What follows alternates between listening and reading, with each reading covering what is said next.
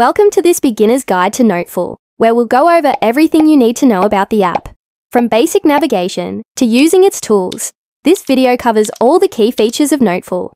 If you're looking for a specific feature, feel free to jump to it using the timestamps in the description. Let's get started. When you open the Noteful app, you'll see a left pane that contains all the notebooks you'll create inside or import into Noteful. The other major half of the dashboard shows the notebooks within the default folders and the folders you'll make inside the app. This search icon allows you to search for notebooks directly on the main screen. The next icon lets you choose whether to display the notebooks in a list or a horizontal layout. This one lets you sort out files by name, date modified, or created. The next one lets you select your files to further share, duplicate, move to other folders, give them a tag, or simply delete them. The last icon opens up the exact page in the notebook where you previously left your activity. To add a folder, you have to be first inside the Folders section, which can be accessed from the left pane. Then click the plus icon and choose New Folder. Give it a name, color, or icon, tap on Create, and a new folder will be inserted. You can nest one folder in another and create several layers to access your notebooks or planners for extra organization. Adding a notebook in Noteful follows a similar pattern, as you have to click this plus icon for it as well, and tap on the notebook. From here, you can choose the cover, paper size, color, and template of the notebook. Additionally, you can give it a name and add a tag to this notebook for quick access. Once you do it, simply tap on Create, and your notebook will be created. By default, there's only one page inside the notebook. And to add more pages, you just have to pull on the left, and the pages will continue to add on. Since you gave a tag to this notebook while creating, you'll see it here for easy access. You can also pin your frequently used files. And upon doing that, you'll find all the pinned files inside the library's pinned section. To delete a notebook, press and hold on it and tap on Delete Notebook. Go to the trash section, click the deleted notebook, and choose Recover to get the item recovered. Now you might have your own custom digital planners or notebooks, which you want to use instead of Noteful's default notebooks. So to add your custom planners, click the plus icon again, tap on Import File, locate the planner, and click Open to import it inside Noteful.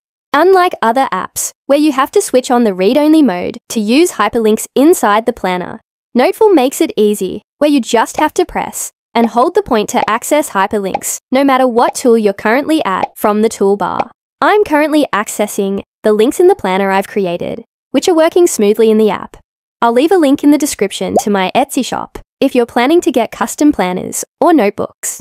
Next, when you click these three dots on the top right corner, you can choose either to scroll vertically or horizontally by selecting these options. This setting also directly affects how you add pages inside the default notebooks in Noteful. For example, if you choose vertical scroll, new pages will be added when you pull upwards. If you select horizontal scroll, pages will be added by swiping left, just like we've seen earlier in the video. You can also fix the toolbar top, right, bottom, or left. I'm right-handed, so having the toolbar on the right side is a plus for me as it helps me access everything easily. Additionally, you can stop your iPad from getting locked by clicking this Keep iPad Awake option. You can turn off the status bar to hide the date and time and have a little more space. Further, you can also turn off the ruler and zoom window options, which you can always access from the bottom right inside Noteful.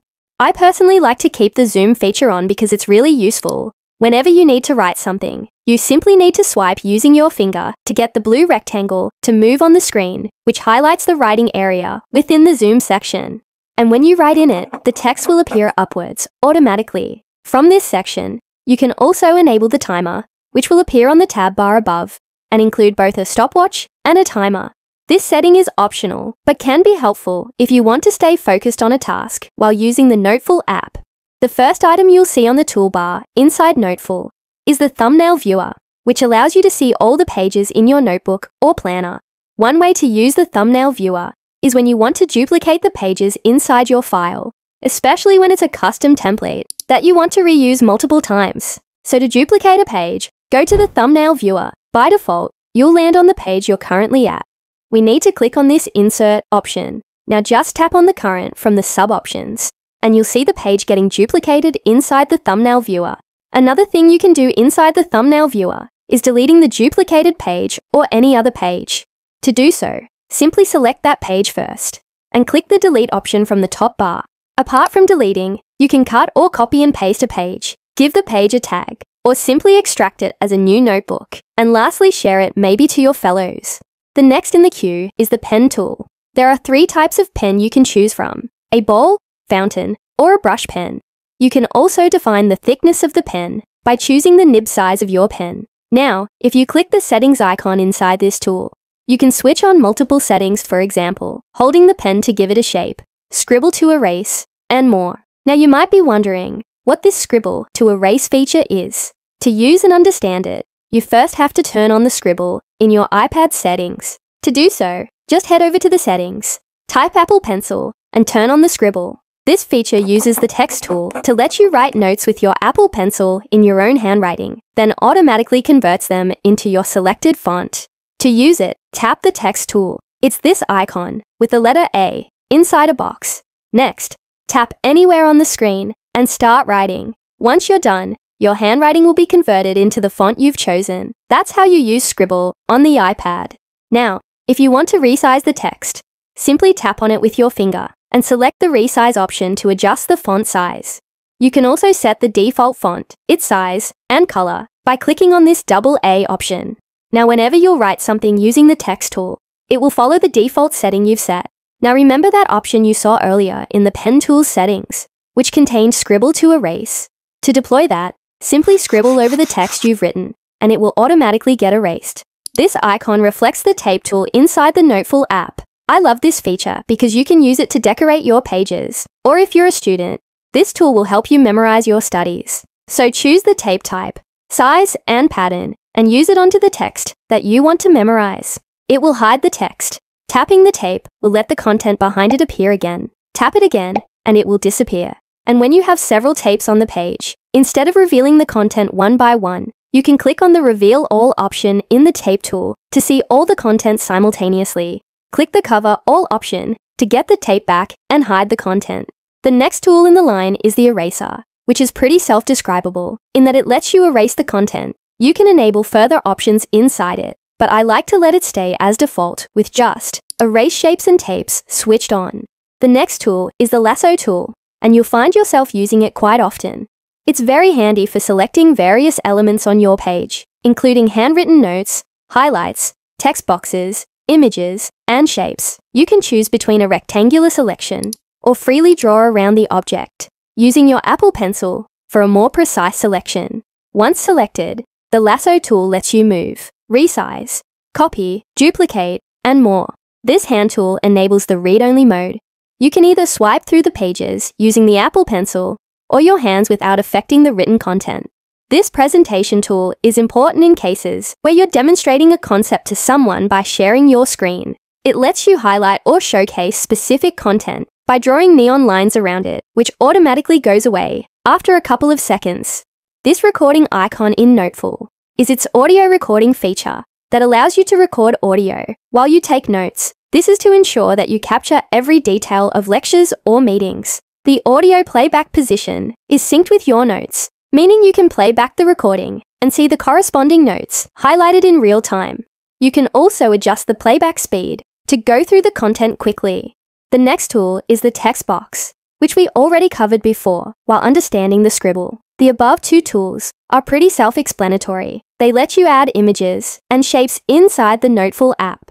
This little circular icon is very useful because here you can import your digital PNG stickers. The app also includes some default stickers grouped under the cactus illustration. Now to add your custom stickers inside the app, click the plus icon. Select all the stickers you want to import and tap on the open. You can either save them in the existing cactus collection or create a new one.